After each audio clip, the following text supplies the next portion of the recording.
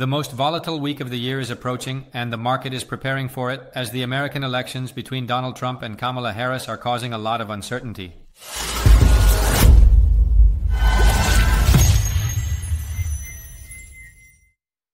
The presidential elections in the United States on November 5, 2024 are particularly exciting. Presidential candidates Kamala Harris and former President Donald Trump are neck and neck in the polls.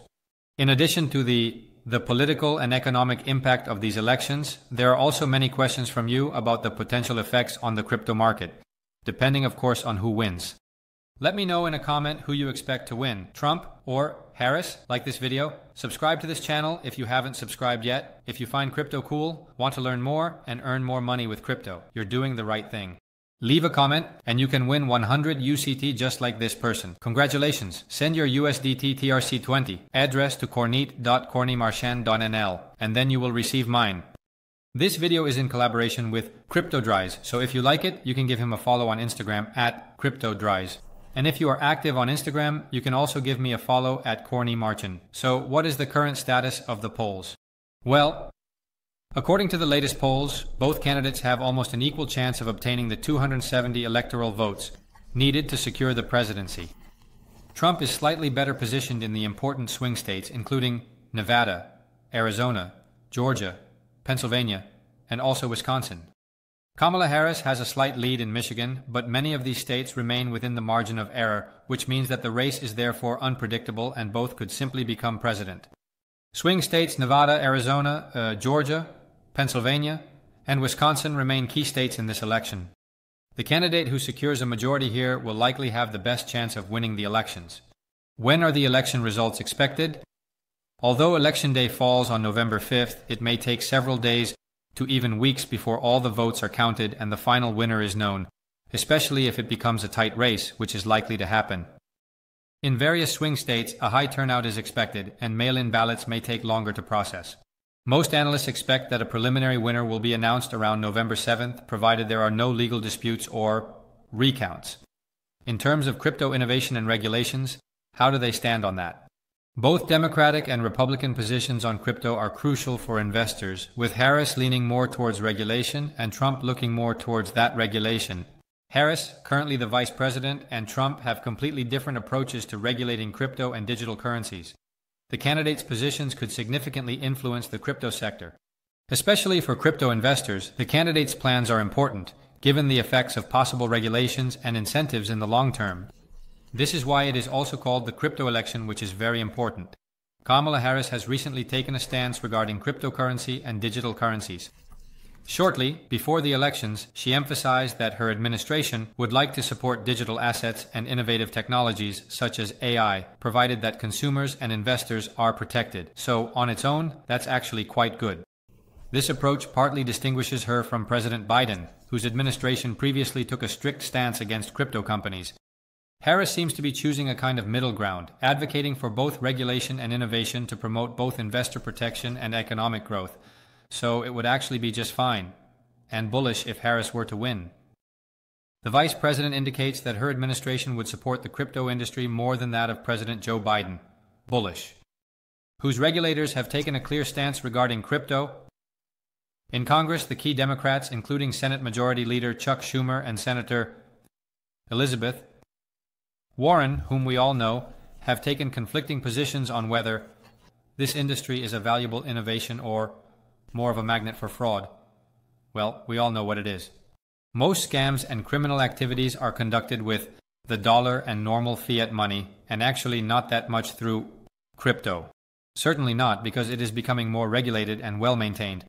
Harris has also included specific policy proposals in her opportunity agenda that are intended to promote crypto as a means of wealth building in minority communities. That's fine. This includes plans to create economic opportunities for black um, men through safe access to digital assets and other financial services. I consider this discrimination and a lack of ability. Right? It should be for black men, it should be for white men, and it should be accessible to everyone, not just a specific group. I find it a strange statement, a strange remark. Guys, I found out that very few of you know that we actually have free access to the community. You can also join the paid community for free. You don't have access to everything or everywhere, so, but you simply have crypto groups where you can brainstorm with other members. You will receive support from my team, and now and then, there are even free signals and important announcements. In short, without any money, you can join a large, the largest crypto community in the Netherlands and Belgium.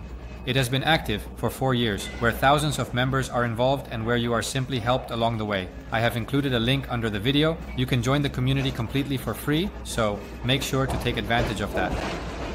What about Trump and his expected crypto policy? Trump's attitude towards crypto has undergone a dramatic turnaround.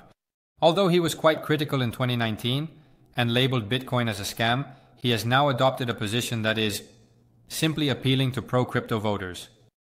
Trump has spoken out against the creation of a digital dollar by the Federal Reserve, thus the CBDC, and has indicated that he wants to promote Bitcoin mining in the United States. Additionally, he also wants to dismiss Gary Gensler. Positive.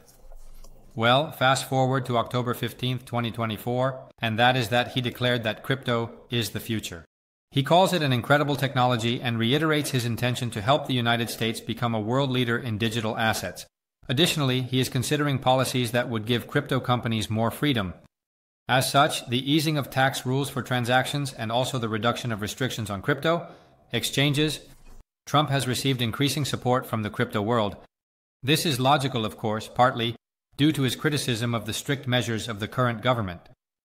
The expectation is that Trump will continue to focus on the growth of crypto with policies aimed at economic growth, tax benefits, and reduced oversight costs for Hanfi companies in the crypto sector. Some even speculate that he might consider a strategic reserve of Bitcoin. He has said this himself. He has also stated that he wants to make the United States the capital of the crypto world. That is, of course, extremely bullish. Trump has consistently made it clear that he is against any form of the CBDC. I am, of course, very happy about that, and it would be good for the United States. Tonight, I also promise to protect Americans from government tyranny. As your president, I would never allow the establishment of a central bank digital currency, said Trump. During a speech on January 17th in Portsmouth, New Hampshire, quote, such a currency would give the federal government, our government, absolute control over your money. They could take your money, and you wouldn't even know it was gone. This would pose a dangerous threat to freedom, and I will prevent it from coming to America. Thus spoke Trump, Trump claims to be the great protector against government tyranny. His comments regarding CBDCs seem to have been made seriously and were supported in July when he spoke at the Bitcoin 2024 conference in Nashville. Quote, I will immediately instruct the Department of Finance and other federal agencies to stop and cease all necessary steps. Because you know something is going on in your industry. They want to move the establishment of a central bank digital currency. It's over. Forget it. There will never be a CBDC while I am President of the United States. And I will always defend the right to self preservation. Thus said Trump. Now, here briefly is my own view. They are both, of course, politicians and can certainly say a lot to win votes. That is what always happens. What struck me while making this special is that it is particularly difficult to find articles or sources that support Donald Trump in a positive way, compared to Kamala Harris. And the media also seems to have a preference for Harris in this regard, and this has, of course, been proven. Of the 100% of media coverage about Trump, 85% has been negative. For Kamala, it is 78% positive. We also know that the media channels are in the hands of the parties that govern the world, especially in the United States, and that they also want Kamala Harris to become president to continue the same Obama Biden policies. Trump's policy seems much better for crypto in the long term to me, and Harris has only recently taken a stance, while Trump did this months ago. With Harris, I really have the feeling that it is about winning and stealing some last votes from Trump. Since she only took a clear stance last month, well, this was the video for now. I hope you liked it. This election Trump Harris special. If so, give it a like. Share it with friends and family, and hopefully, I'll see you back in the next one. Adios.